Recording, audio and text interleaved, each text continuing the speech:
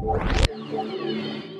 यमुनानगर में bullet bike पर पटाखे चलाने वालों पर शहर थाना पुलिस ने सख्त कार्रवाई की है। पुलिस को कुछ दिनों से शिकायतें मिल रही थी कि ज़िले में कुछ लोग बुलेट बाइक पर तेज हॉर्न बजाते हुए और हुड़दंग मचाते हुए जाते हैं। पुलिस ने विभिन्न स्थानों पर चेकिंग अभियान चलाया और बुलेट बाइक पर पटाखे बजाने वालों पर कड़ी कार्रवाई की। इस दौरान पुलिस ने एक दर्जन से अधिक बुलेट बाइक को जब्त भी किया। यमुनानगर शहर थाना पुलिस प्रभारी सुखबीर सिंह ने बताया कि पुलिस अधीक्षक कमलदीप गोयल के आदेश पर ये कार्रवाई की गई है और आगे भी इस तरह की कार्रवाई जारी रहेगी। ये काफ़ी दिनों से कंप्लेंट आ रही थी।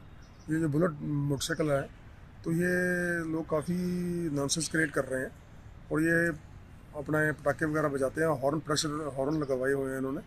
तो हम पिछले लास्ट वीक से तो डेली जो बुलेट हैं बाइक इनके चलान कर रहे हैं और इम्पाउंड कर रहे हैं इनको। और इनको जो नॉनसेंस क्रिएट करते हैं इनको बिल्कुल बर्दाश्त नहीं होगी इनके खिलाफ बिल्कुल सख्त कार्रवाई होगी। और आगे भी लगातार ये कंटिन्यूसली हम जो चलान है ये करते रहेंगे इनके। सर जो बोल्ट में जो सलेंसर है वो मिस्त्री बदलते हैं। उनके खिलाफ कोई बड़ी कार्रवाई नहीं की गई बिल्कुल उनके खिलाफ भी बिल्कुल बड़ी कार्रवाई की जाएगी।